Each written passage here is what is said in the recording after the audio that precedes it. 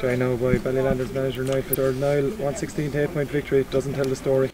No, it doesn't, not at all. Um, very tight game throughout. Uh, we only managed to pull away maybe in, in the last 10 to 15 minutes. It was always going to be a, a, a tough game, you know, um, neighbourly rivalry and all that. But uh, look, the Gal- Galtee Gaels are, are they're a senior football team. They've earned that right, and uh, it, it was a do or die game for them. So I, I think. They battled and made it very difficult for us. We, we were expecting that, and we were very happy with the way we finished the game.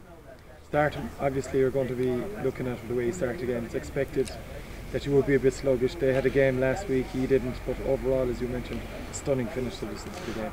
Yeah, it, it, it was a good finish. Look, well, I suppose we, we, we, we were very happy with our attitude in the, in the first half. We weren't so happy with um, some of the sloppiness, but look, there were difficult conditions, and uh, obviously Galtee, Galtee Gaels had had the game last week, so the, the, you know that that can work in your favour. It can work against you. Maybe they tired towards the end listen, it's it's it's our first game championship football this year. We've been waiting a long time for it, and uh, we're, look, we're, we're we're generally happy with how we finished the game.